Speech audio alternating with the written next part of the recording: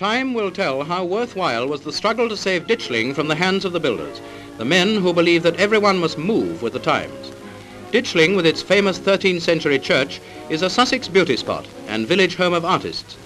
It was proposed to build 2,000 model houses adjoining the high street of 17th century half-timbered cottages.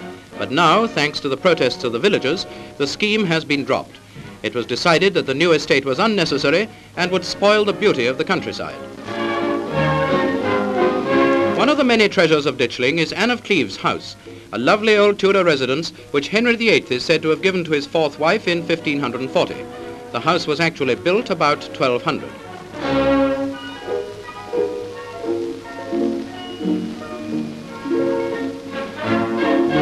Anne's house with its fine eagle's gate is one of the best preserved Tudor specimens in the country.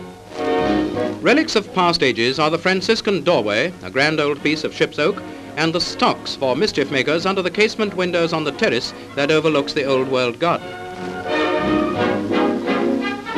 Time has already told the story of Ditchling's part in history.